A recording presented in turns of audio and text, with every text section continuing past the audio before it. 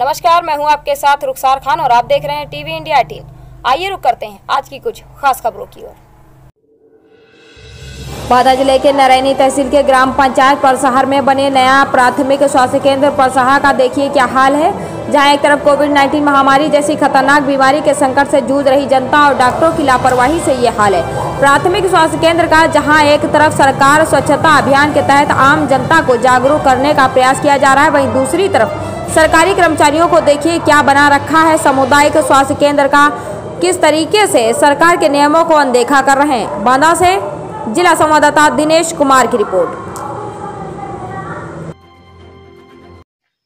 मैं परसार से रहने वाला हूँ।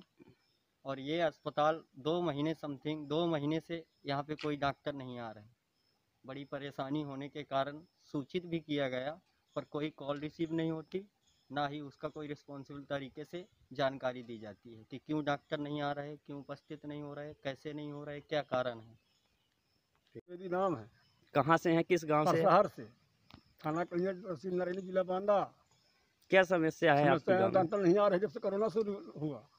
लगभग कितने दिन हो गए दो चार महीने हो गए। तीन महीने। और आप लोगों ने कहीं कुछ किया अभी तक? कहीं- कहीं नहीं गए हम जा, जा पाते हैं। मेरा नाम अशोक चतुर्वेदी है। आप कहाँ पे खड़े हैं इस समय? हॉस्पिटल में। क्या समस्या आ रही है हॉस्पिटल? समस्या है इलाज की यहाँ कोई डॉक्टर कंप्यूटर कोई नहीं आ रहा करीब तीन महीने। अब ये कोरोना जैसी महामारी चल रही है आप इसके चलते आप कहाँ ये इलाज के लिए जाते हैं इस समय? यहाँ से दस किलोमीटर दूर बांदा नारायणी है बांदा जाते हैं। तो आपके यहाँ डॉक्टर नहीं आ रहे? जी हाँ। ठीक।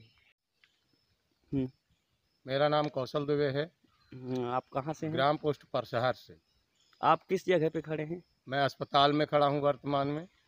ये अस्पताल में क्या समस्याएँ चल रही है? अस्पताल में ये समस्या है कि यहाँ लगभग ढाई महीने से तीन महीने से डॉक्टर नहीं आते।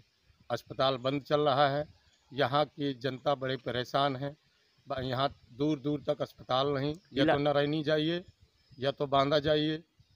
कि कोई भी समस्या होती है रात बिरात दिन में तो कोई सुनाई नहीं होती।